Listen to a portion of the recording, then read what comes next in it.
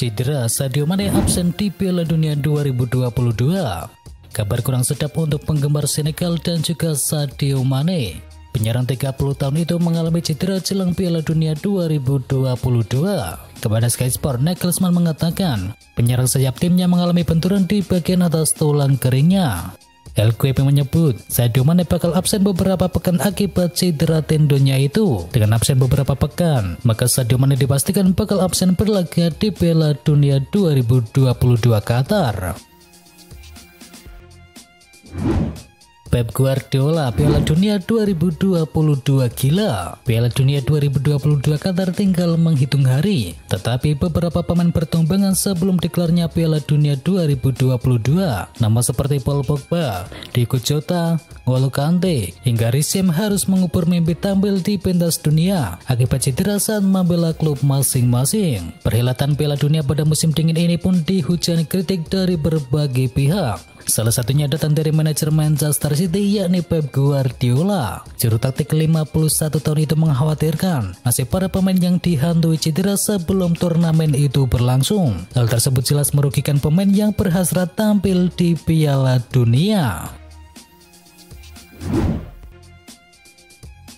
Seleb letter, UEFA bantu Qatar jadi tuan rumah Piala Dunia 2022. Penunjukan Qatar terjadi pada Desember 2010 dengan berhasil mengalahkan Amerika Serikat dalam putaran terakhir voting. Qatar unggul 14-8 atas Amerika Serikat dalam voting yang dilakukan 22 anggota komite dari FIFA. Menurut pengakuan dari Blatter, 4 dari 14 suara yang didapatkan Qatar merupakan pemberian dari UEFA. Negaranya terlalu kecil, sepak bola dan Piala Dunia jauh lebih besar. Namun berkat empat suara dari Platini dan timnya, Piala Dunia akhirnya digelar di Qatar ketimbang di Amerika Serikat. Itulah kebenarannya ujar Sebreter kepada harian Swiss. Prancis umumkan skuad Piala Dunia 2022. Timnas Prancis mengumumkan skuad untuk Piala Dunia 2022. Tidak ada kejutan dari nama-nama yang masuk ke tim Les Blues tersebut. Walaupun belum fin, Rafael Varane, Lucas Hernandez dan juga Presnel Kimpembe tetap dipanggil. Kejutan terjadi ketika bek Liverpool yakni Ibrahim Konate dipanggil bersama William Saliba. Di tengah hanya Adrien Rabiot yang punya pengalaman di level internasional bersama Prancis. Karim Benzema, Kylian Mbappe, Oliver Giroud dan juga Anton Griezmann akan diandalkan untuk bisa mendulang gol. Dan berikut adalah skuad lengkap timnas Prancis Piala Dunia 2022.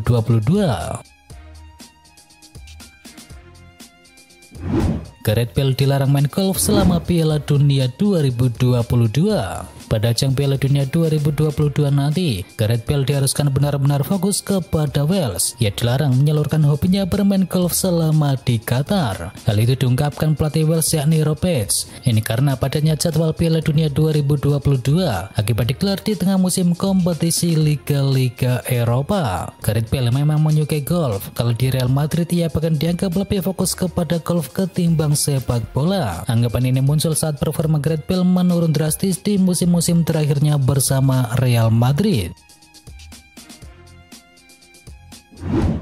Gary Neville tak yakin Arsenal bisa juara Liga Premier Inggris. Arsenal sedang dalam laju mantap di musim ini. Hasil-hasil bagus itu mengantarkan Arsenal ke puncak klasemen sementara Liga Premier Inggris dengan koleksi 34 poin. Tak sedikit banyak pihak yang berani menyebutkan bahwa Meriam London bakal mengakhiri musim dengan titel juara. Namun pendapat berbeda justru dilontarkan oleh Gary Neville. Menurutnya Arsenal punya kecenderungan tampil jeblok setelah Natal dan juga tahun baru dalam beberapa musim terakhir. Oleh sebab itu Gary Neville meragukan Arsenal bisa meraih juara Liga Inggris di musim ini. Dia lebih menjagokan sang rival Manchester City dalam persaingan juara.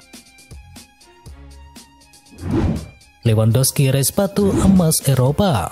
Robert Lewandowski menerima sepatu emas Eropa 2022.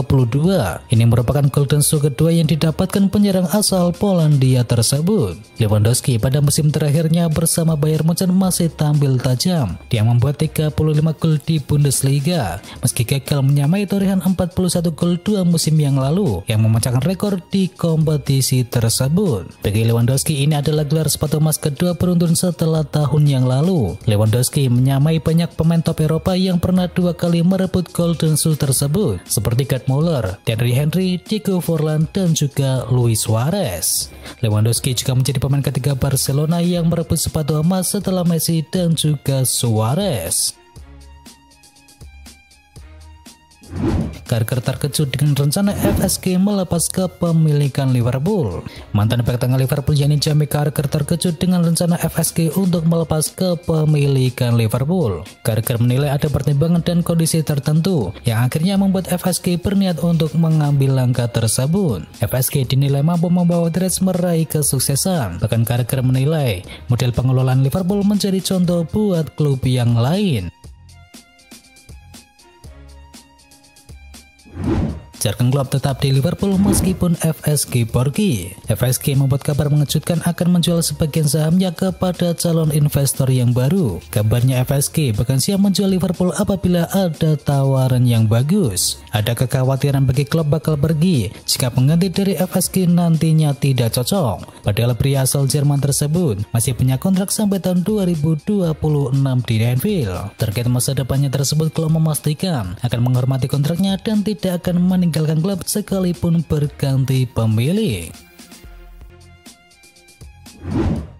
Tampil bagus di Liverpool, Mohamed Salah dipuji legenda Manchester United. Legenda Manchester United Gary Neville menyebut bahwa Mohamed Salah sudah kembali ke performa terbaiknya dan tampak berada di level yang berbeda dibandingkan rekan-rekan setimnya. Ia sempat kesulitan mencetakkan gol secara rutin, namun belakangan ini sepertinya Mohamed Salah sudah kembali ke performa terbaiknya. Salah tampil api ketika melawan Manchester City. Demikian juga saat Liverpool berhasil mengalahkan Tottenham. Gary Neville menambahkan bahwa Mo Salah tak sekedar kembali ke level terbaiknya, ia sekarang tambah berada di level yang berbeda dengan rekan-rekannya yang lain di Liverpool.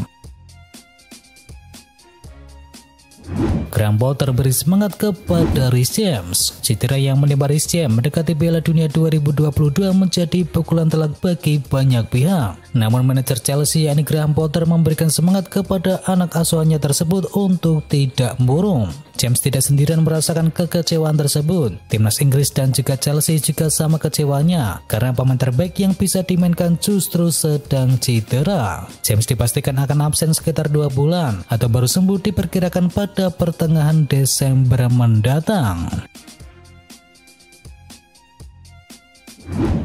Arsenal bertekuk lutut ketika meladeni Brighton dalam duel putaran ketiga Carabao Cup. The Gunners menyerah dengan skor akhir 1-3. Pertandingan di Emirates Stadium jelas tidak berjalan sesuai harapan Arsenal. Pasukan dari Mikel Arteta main api dan sempat dominan di awal laga, tetapi mereka tidak bisa mempertahankan momentum tersebut. Arsenal unggul terlebih dahulu lewat gol dari Eddie Keita di menit ke-20. Namun kemudian Brighton membalikkan kedudukan melalui gol dari Danny Welbeck, Kormi Toma dan juga Tariq Lemte. Hasil ini membuat Arsenal gagal lolos menuju babak selanjutnya. Manchester City menang atas Chelsea. Manchester City membekuk Chelsea dengan skor akhir 2-0 dalam duel putaran ketiga Carabao Cup. Riyad Mahrez dan Julian Alvarez membawa Manchester City unggul cepat di babak yang kedua. Chelsea terus melawan setelahnya, tetapi Man City masih terlalu unggul. Hasil 2-0 ini memastikan langkah Chelsea ke putaran keempat Carabao Cup. Komen Kelleher jadi pahlawan milik Liverpool. Liverpool nyaris malu di hadapan pendukungnya sendiri pada putaran ketiga Carabao Cup. Untungnya Komen Kelleher menjadi penyelamat di babak adu penalti melawan Derby County. Menampilkan skuad cadangan Dres sempat kesulitan selama 90 menit untuk bisa mencetakkan gol. Meski unggul dari segala aspek, Derby County berhasil memaksa skor imbang 0-0. Pertandingan pun dilanjutkan di babak adu penalti. Liverpool sempat dibuat cemas gara-gara tendangan Steven Bacetic diselamatkan. Kemudian tendangan dari Roberto Firmino melambung tinggi. Untungnya nasib buruk tersebut terbantu dengan penampilan gemilang ke leher di bawah Mister Gawang. Kiper kedua Liverpool itu melakukan tiga penyelamatan yang membuat Liverpool menang adu penalti 3-2. Ancelotti mengaku performa Real Madrid mengalami penurunan. Sebagaimana yang diketahui dalam lima pertandingan terakhir, penampilan Real Madrid memang tak begitu konsisten baik di ajang La Liga Spanyol maupun di Liga Champions. Sejak mengalami kekalahan pertama melawan RB Leipzig di ajang Liga Champions, performa Los Blancos memang terus menurun. Dari empat laga terakhir, Luka Modric dan kawan-kawan tercatat hanya mampu meraih satu kali kemenangan, satu kali imbang, dan dua kali menelan kekalahan. Ancelotti desak Florentino Perez boyong dua pemain bintang Serie A Italia. Pelatih Real Madrid Carlo Ancelotti disebut-sebut dengan mendesak Presiden Real Madrid yakni Florentino Perez untuk bisa mendatangkan Victor Osimhen dan juga Rafael Leao. Dua pemain tersebut dinilai bisa menjadi meningkatkan kualitas lini serang milik Los Blancos. Perekrutan dua pemain tersebut juga dianggap sebagai respon dari kegagalan mendatangkan Kylian Mbappe pada awal musim ini. Ancelotti meminta Perez untuk melakukan apa pun demi bisa mendatangkan Liao dan juga Osimen pada jendela bursa transfer pertengahan musim ini.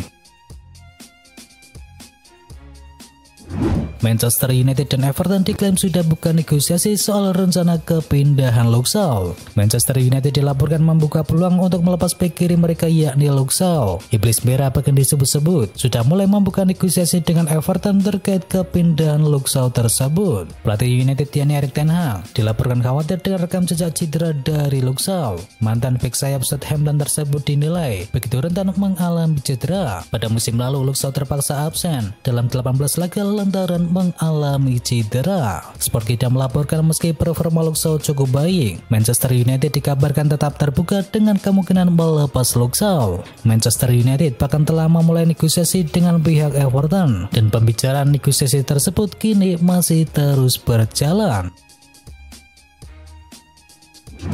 Lupakan Frankie De Jong, Manchester United fokus kejar gelandang timnas Argentina. Awalnya Ten Hag ingin mendatangkan Frankie De Jong dari Barcelona. Sang gelandang dinilai punya kemampuan yang cocok untuk gaya bermainnya. Laporan dari Record mengklaim bahwa Ten Hag kini sudah move on dari De Jong. Ia dikabarkan tertarik untuk bisa mengamankan jasa Enzo Fernandez dari Benfica. Fernandes dikabarkan sudah dipantau Manchester United sejak ia masih bermain di River Plate. Namun yang membuat Erik Ten Hag terkesan adalah ketika ia pindah ke Benfica pada musim panas kemarin. Setan Merah dikabarkan sudah mengirimkan perwakilan untuk melakukan diskusi dengan sang agen timnas Argentina tersebut. Manchester United dan Ronaldo dilaporkan sepakat berpisah pada Januari. Cristiano Ronaldo dikabarkan bakal meninggalkan Manchester United pada bursa transfer Januari mendatang. Ronaldo memiliki hubungan yang rumit dengan sang pelatih Erik Ten Hag yang sempat minta dijual klub pada bursa transfer musim panas yang lalu. Dikutip dari Tribal Football, Ronaldo disebut telah mendapatkan restu dari Iblis Merah untuk bisa meninggalkan Old Trafford pada Januari nanti. United berharap bisa menerima tawaran Ronaldo usai Piala Dunia di tengah kemungkinan legenda Real Madrid itu kembali ke Sporting Lisbon.